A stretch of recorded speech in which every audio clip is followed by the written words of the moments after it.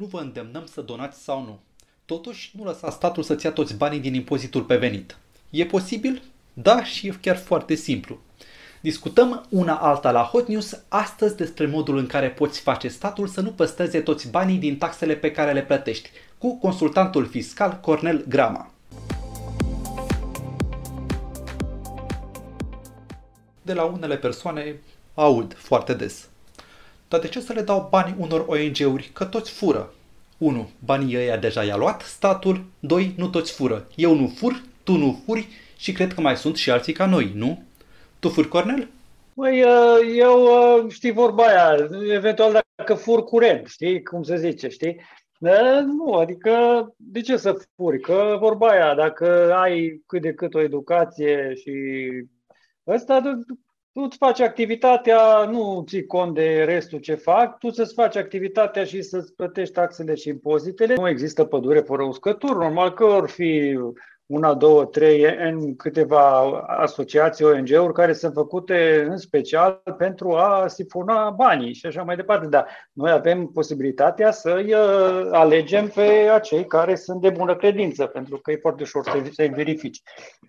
Uh, mai ales că acum trebuie să fie înregistrat uh, în registru la ANAF, ONG-urile respective și na, te poți uita cât de cât să vezi ONG-ul ăla, ce activitate a avut până acum, ce venituri și așa mai departe, că toate datele astea sunt, sunt publice.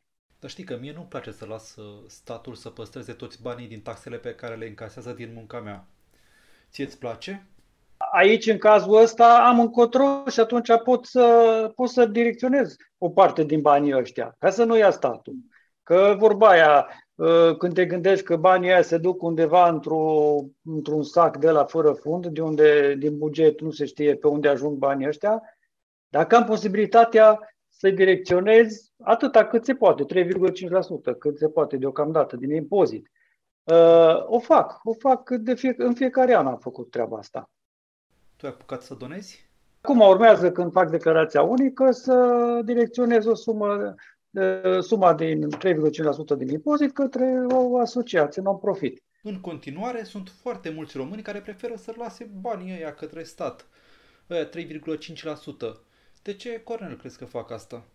Păi, în primul rând, din uh, neștiință, că nu știu că pot să facă treaba asta.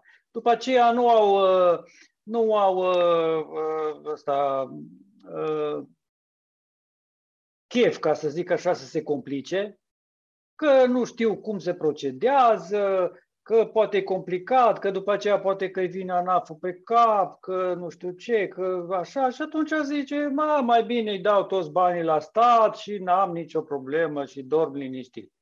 Deci din, din considerentele astea, că altfel nu văd de ce nu ar face, ar face fiecare uh, persoană care are impozit, bineînțeles. Am doi prieteni care s-au certat anul trecut. Unul are ONG, iar celălalt lucrează în construcții. Cel cu ONG-ul și-a rugat prietenul să-i dea ăia 3,5%, iar cel din construcții i-a spus că n-are cum, bineînțeles. Acum, Cornel, de ce n-are cum? Da, trebuia să-i facă un calcul. 3,5 ori 0 egal 0. Deci, uite, îți donez toți banii mei din impozit. 0. 0 barat.